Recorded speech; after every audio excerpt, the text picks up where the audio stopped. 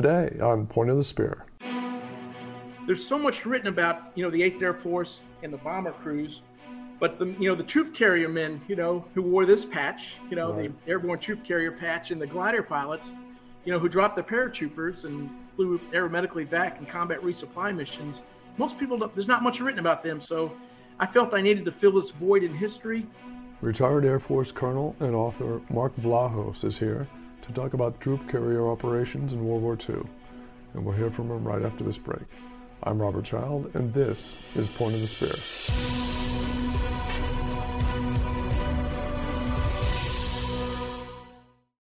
Welcome back. Today's guest spent 29 years in the Air Force. His freelance writing career began in 1994 when he was a major stationed at the Pentagon. He published his first two articles in the Washington Times Saturday Civil War page. In 2015, he published his first book, Winfield Scott's Vision for the Army. His current book is called Men Will Come A History of the 314th Troop Carrier Group, 1942 to 1945. And retired Air Force Colonel Mark Vlahos joins us now. Mark, welcome to the show. Hey, Rob, thanks for having me today. I appreciate the opportunity. You're very welcome, and we're honored. And I understand we have a mutual interest in World War II gliders. Yes, we sure do. Uh, obviously, being an airborne troop carrier historian, the glider operations comes with that piece, and uh, I'm excited to, to talk about it today. Yeah, yeah, we'll get into it a little bit later. Before we talk about the book, I'd like to hear more about your Air Force career. And I understand you were a, a master navigator on C-130s. Yeah, that's that that that's correct, Rob. Uh, for me, military service was a calling. Uh, my father entered the uh, Merchant Marine Academy in 1944 during World War II, and and this was just two years after his father, my grandfather, survived a Nazi torpedoing on a merchant ship. So, uh, military service is in my family. I, I was commissioned in 1982 mm. through ROTC uh, at Virginia Tech, and ended up serving 29 years. And uh, I was just blessed to be part of something far bigger than myself uh, serve with great people. Uh, the opportunities, you know, this ordinary guy got to do extraordinary things because of the Air Force and in both C-130 ops and a special duty assignment flying presidential flight support on 707s uh, with the presidential 89th Air Wing. So I had a fantastic career. Thank you. What was uh, what was involved with the presidential flight support? What was really neat about that, the the navigator, you know, had had a fantastic mission because uh, just all the, the mission planning and uh, I was able to fly uh, from Air Force Two down per se. I wasn't in the Air Force One. I didn't fly Air Force One, but I flew Air, Air Force Two, Secretary of State, Secretary of Defense shuttle diplomacy missions, you know, around the world. So, and uh, I was in that assignment from 1989 to 1994. You have to remember when the wall came down and the USSR collapsed. So right. I got to go on some great trips into Moscow and other places in the in the in Russia when, when the USSR collapsed. You know, some it was just amazing times. Now the book on the 314th in World War II hits close to home because I understand you were a vice wing commander in the very same unit. Yeah, that's true. Actually, Rob, uh, during my career, I actually had three tours in three different decades with the 314th, which is at Little Rock Air Force Base today. And uh, I actually flew with three of the original four squadrons that you know World War II squadrons in that in that group as well. And uh, so the the 314th has a fantastic history since its activation uh, during World War II. And uh, my last assignment there, uh, 2007 to 2009, I did get to serve as the vice wing commander, which was just an honor. And uh, so writing this unit's history, you're right, was very personal for me, and uh, it was just a neat calling thing to do. Now, you probably met a lot of the World War II veterans from the 314th in, in the writing of the book. Do any of the veterans yeah. or any of their stories stand out to you? Yeah, Rob. Uh, I just tell you the uh, the group commander, Colonel Clayton Stiles, uh, who I got to know his two sons very closely in researching and writing this book. They're now my best friends, obviously, and so are their grandkids. Mm. But uh, Clayton's son Howard, who's 85 years old now, by the way, retired colonel himself, uh, told me the story about uh, the first mission of the war, combat mission. Clayton Stiles was leading 60 aircraft. Uh, this was during the invasion of Sicily. Uh, they were carrying paratroopers from the 82nd Airborne on board. And right after they made the drop, just inland in Sicily, around the town of Gela, on escape from the DZ, Clayton's aircraft was shot down by a, a German pillbox as the, and both engines quit at the same time. Uh, Clayton was able to uh, ditch the aircraft. Basically, he landed it, you know, on the wave tops with both engines out, glided it, landed it. The uh, the aircraft floated for about 15 minutes, and the, the crew was able to get out into the dinghies, into the life rafts. Uh, but what Howard told me, and this was amazing, you know, and this is in my book, Men Will Come.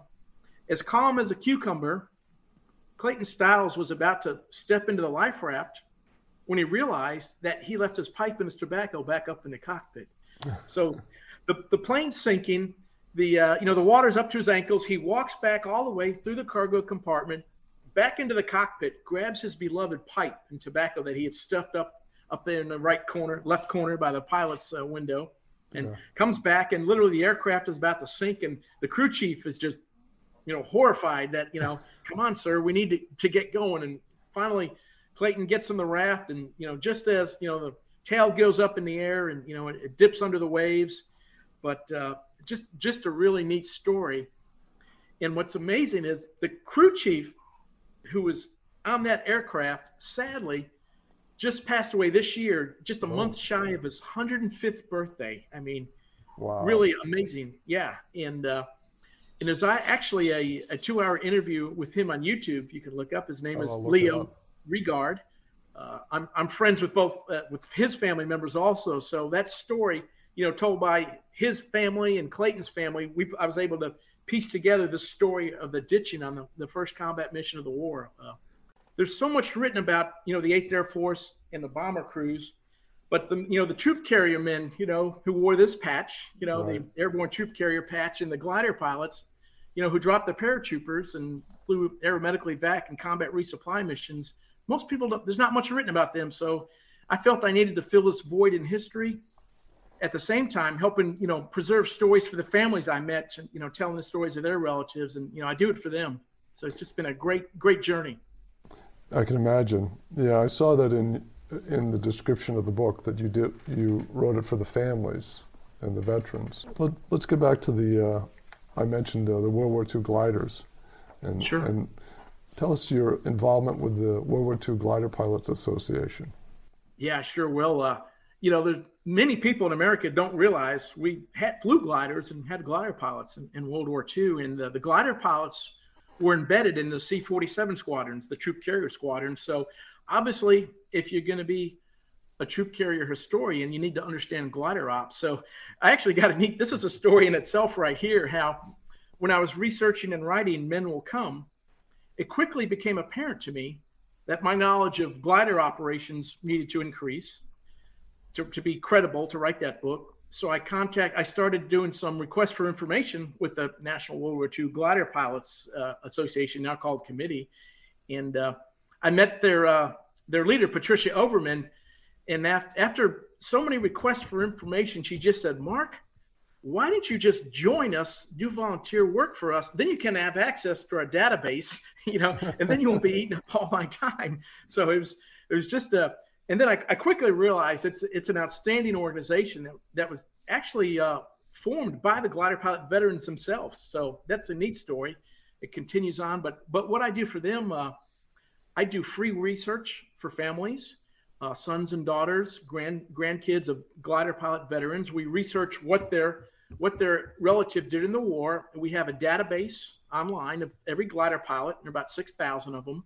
Wow. I do entry into the database, you know, because we use primary research resource material for all our research. So it's got to be documented. If you're going to say somebody did something, you have to have a document to back it up. So we fill in their records uh, so the family members know what they did.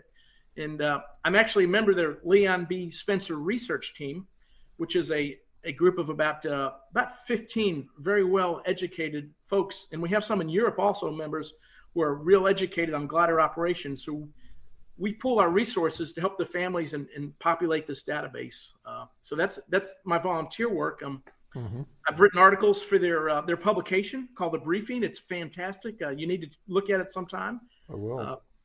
My my last story I written actually was called Untold Troop Carrier Stories from the secret war in the Balkans, and this was actually a teaser for the my next book, which we're going to talk about in a little bit also. So right, right. It, it's offered a, a lot of a platform for me to to give presentations, author stories, and do volunteer research. My background for the listeners, if if they don't know the story, is I did this the film which you've seen now, Silent Wings, uh, the World War II glider pilots, and uh, I worked closely with Michael Samek, who yes. was a World, World War II veteran or glider pilot. The film became the catalyst to push Congress towards a joint House resolution to honor the, the glider pilots. So mm. back in 2007, Carolyn McCarthy and the Arms uh, Services Committee pushed through a bipartisan resolution, joint resolution, that honored the World War II glider pilots for their service 65 years after the war. And Michael Samek was able, and myself, uh, were able to go down and actually see the vote in Congress, sit in the, the special member section, and, wow. and watch the vote, the historic vote to honor the glider pilots. So I have very fond memories of uh, of working with Michael and working with other veterans of, of World War II, the, the World War II glider pilots. And I also spent some time down at the museum in Lubbock. Yeah. Yeah. Have you visited that museum? Uh, I, I have. I was gonna I was gonna put in a plug for that, but uh, oh, you just ahead. did. Uh, yeah, it's a it's a it's a great the uh, the glider pilot uh, absolutely organization, World War II organization, coupled with that museum uh, is there to educate the public. And for anybody visiting Lubbock, Texas, it's a must to see. great great product they have there. The museum is located on the original uh, Southwest Plains Army Airfield, where they, that was the major gliding glider pilot training facility during World War II, right there on that field. So, oh, I didn't know that. Yeah, that's, that's so amazing. it's the perfect location to have that museum. Yeah, Lubbock. I remember flying into Lubbock. It's it's like this, just all flat. It's just brown and flat flying. so perfect place for gliders. yeah. Well, welcome to Texas. Yeah, I, I live in New Braunfels, Texas, about about six hours from there. I hope you're enjoying this episode. Next time, I guess will be author Robert Sutton discussing the secret Nazi POW intelligence operation based just outside Washington, D.C., that helped win World War II. By the end of the war, because of this elaborate and really pretty amazing intelligence program, they said Eisenhower probably knew more about the German military operations than Hitler did. That's next time. Thanks for listening to the program. I hope you'll support our guests by clicking on the book purchase link in this episode's description. Each purchase helps support local bookstores, and that's always a good thing. It's such a great story. I hope uh, our listeners look up more on the on the World War II glider pilots. But switching topics, you grew up in Virginia. You said colonial Williamsburg, Virginia, and you spent 30 years actually Civil War reenacting and uh, participated yeah, in the Gettysburg movie. Tell us about that. Yeah, it's just kind of a, a neat hobby. Like, I got interested in military history and colonial history, and you know, Virginia's just full of Civil War history. Just growing up in Richmond, I was around the mecca of a lot of neat history. So, and uh, but uh, got into Civil War reenacting during high school actually, and then uh, throughout my Air Force career when I could, you know, be involved with the hobby. I continued it on, and I still do to this day a little bit. Also, do volunteer work at historical sites. But uh, yeah, it was 1991 when uh, Gettysburg was filmed. Uh, I was actually a, a, captain in the Air Force at the time, stationed mm. at Andrews Air Force Base, Maryland, with the Presidential Flight Support Wing. Uh, my goal was to be in the uh, Pickett's Charge in the Little Round Top scene, but uh, I, I, could only get enough leave to be in one of those, you know, because you know the military's got to approve your leave. But I, I, was able to make it into the Pickett's charge scene. Oh, great! And that was an amazing experience because if people, anybody who's been around filmmaking like yourself, uh, large scenes like that are filmed in stages, you know, then they're put together later, editing, splicing. They just take raw footage. So ended up being in the Pickett's charge scene. I'm both a Confederate uh, soldier and a Union uh, corporal fighting, you know, each other, you know, in the same scene, you know, once it was all put together. So kind so of real neat experience. Were you able to pick yourself out in the battle? I I could because when they when they first started shooting the scene, uh, I remember this vividly. They had a little chopper camera. They had a little helicopter with a camera on it, and uh, flying through the air. And they needed 5,000 guys for this one scene, you know, when the mm-hmm. Confederates first start coming out of the, the woods, approaching the assault through the artillery positions. And uh, I'm just marching in the ranks there. And I kind of knew where I was in the center of the formation. But then as it gets closer to the hand to hand fighting, when they reach the Union lines, I'm right there, a Union corporal, right at the apex of the charge. So I was able to find myself uh, right at Cushing's Battery, which was the apex of the charge. Well, that's amazing. And you spent 30 years reenacting, you said. Yeah, I've actually been out this year once. Uh, COVID kind of put a little damper on that hobby for the last couple of years, but uh, a lot of it's living history, you know, at, at uh, historical sites. It's right. just educating the public. It's not just, you know, doing battle reenactments. Most of it's actually more of a, an educational aspect, which I enjoy. Yeah, I've spent a lot of time around Civil War reenactments, and I did the 150th Gettysburg, and I've been in uniform myself during some of the battles.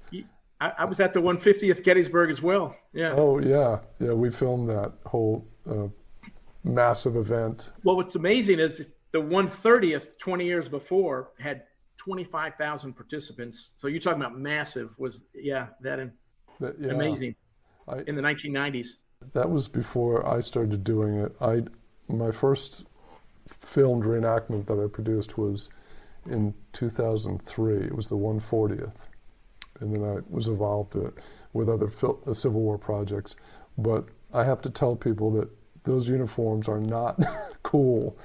Wearing the wool in 90 degree weather and humidity is quite a quite a chore, quite an experience to behold. I remember, you know, speaking with the reenactors because I dealt a lot with the reenactors in the filming. One of them joked with me and he said, There's one rule that we live by die in the shade. yeah. and I, I said, That's a good rule to live by. Indeed. Some great people in that hobby, definitely. Yeah. Um, it's, Lifelong uh, friends. Yeah, absolutely. I, I still stay in touch with people in, in Gettysburg. And that's, you know, the last time I did that production was uh, seven, eight years ago.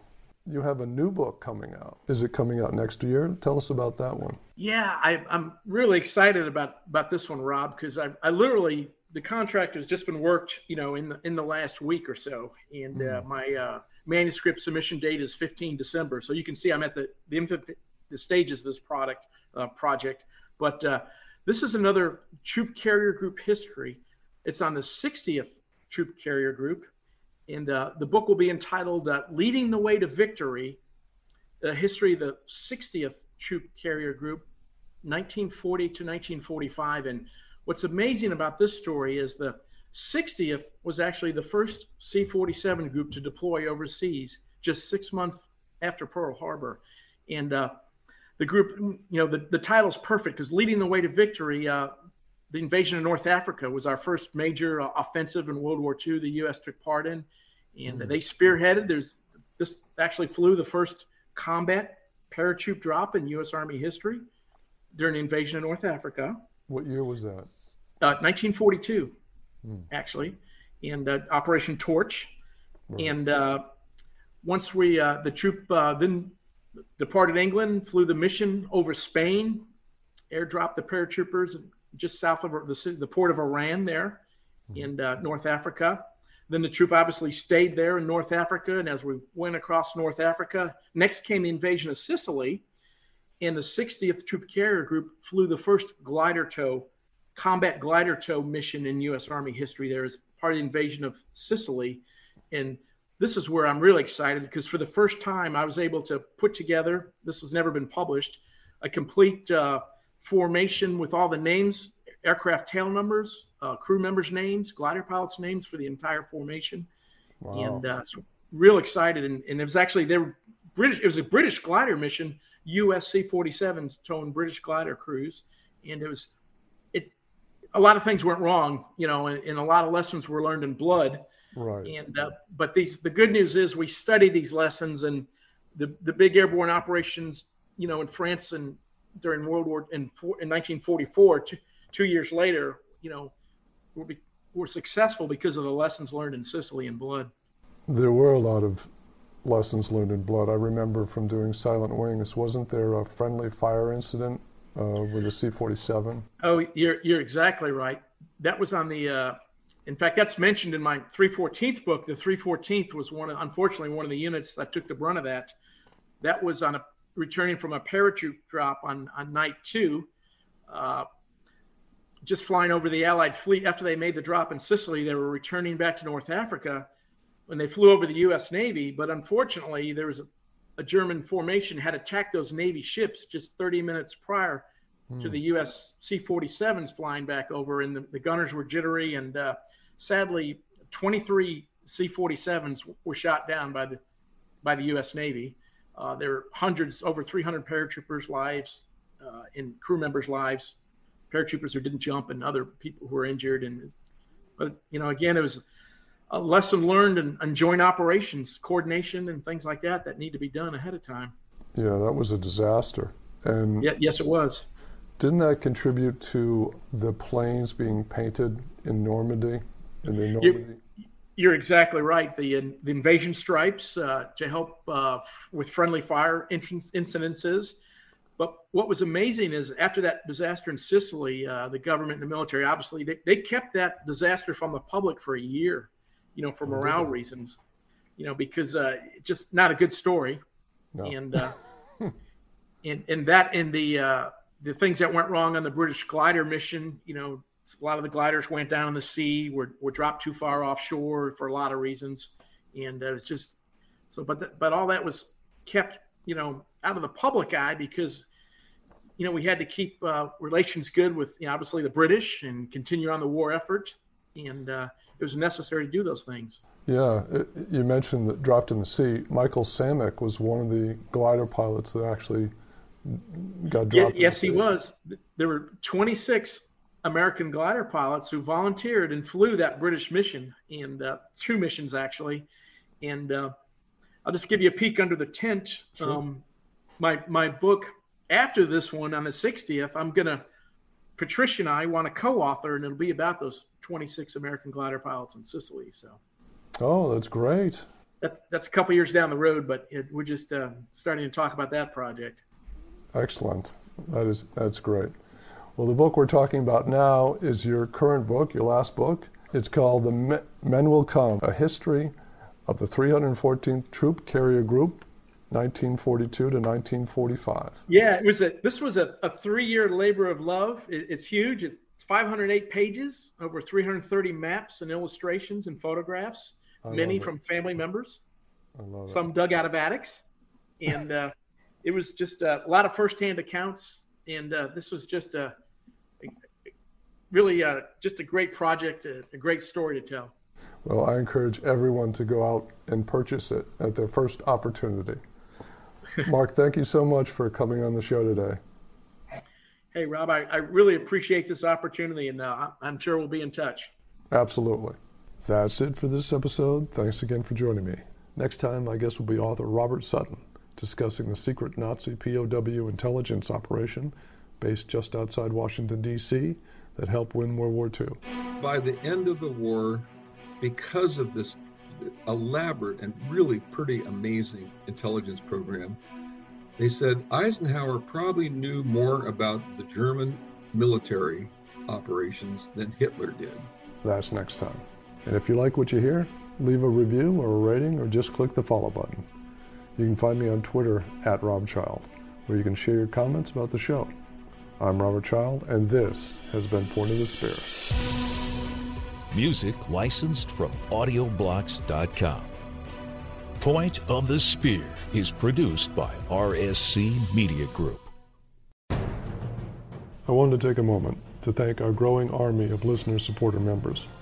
You make it possible to continue our mission of bringing you the best military history authors, filmmakers, and movers and shakers. If you're not a member yet, it's easy to join and it takes just seconds. Scroll down to the bottom of this episode's description and click the support link. You'll come to our anchor page. Click the support button, complete the brief form. It's that easy. We're planning loyalty perks and giveaways to roll out over the coming months for our early supporters who sign on before the end of the year. So don't wait. Become a member today, and thank you for your support.